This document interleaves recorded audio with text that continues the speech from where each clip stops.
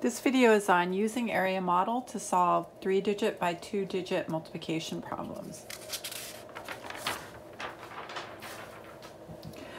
These are the same steps as I used for two by one, three by one, and two by two multiplication problems.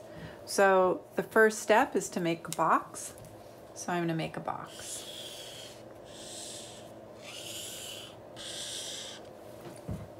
The second step is to write the numbers in expanded form.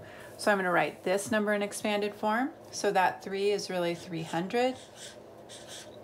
The value of that 2 is really 20. And the value of that 4 is really 4 ones. So 324 is 300 plus 20 plus 4 is 324 written in expanded form. Now I'm going to write this number in expanded form. That 4, the value of that 4 is really 40. And the value of that 6 is really 6 ones. So I know 40 plus 6 is 46. The third step is to draw lines from the plus symbol. So I'm going to draw a line here, draw a line here, and I also have to draw a line here. So now I have six boxes, so I'm going to find six partial products. The next it says multiply to find each area of each box. So I'm going to do that. So this is 40 times 300. So I'm going to write 40 times 300. And I put the parentheses to show a grouping. Now I'm going to, I need to know the length of this side, which is 40. So I'm going to write 40 here. And I know need to know the length of this side here, which is 20.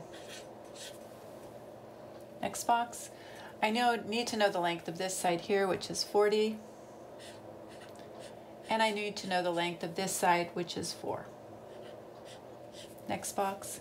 So actually, if you look at this, what I've done is I've distributed the 40 to 300, to 20, and to 4. so down here, I need to know the length of this side, which is 6, and the length of this side, which is 300, I need to know the length of this side here, which is 6, and the length of this middle box line, which is 20. And then I need to find the length of this side here, which is 6, and the length of this side here, which is 4. So now I've found four expressions, I mean two, I found every expression for my six boxes. Now I need to find out the partial products of each box. So this right here is 12, and there's three zeros. One, two, three, comma. So that's the partial, that's one partial product. Here, four times two is eight, two zeros, the second partial product. Four times four is 16, plus one zero, there's the third partial product. Six times three is 18, two zeros, comma, the fourth partial product.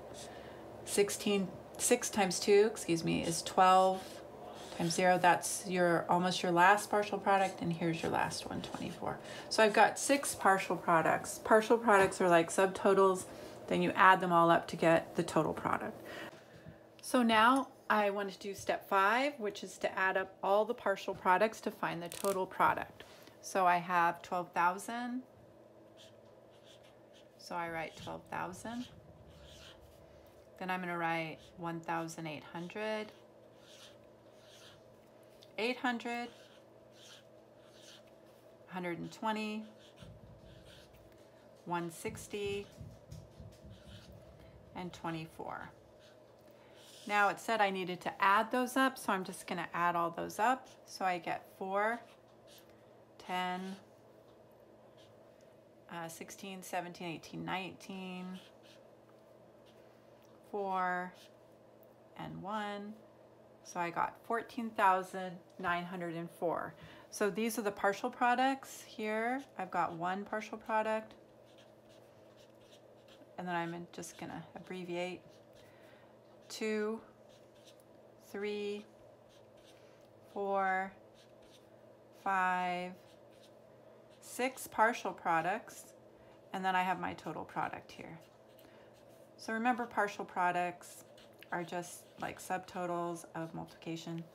So if I have six boxes, I have six partial products. I hope that helps. Thanks. Bye.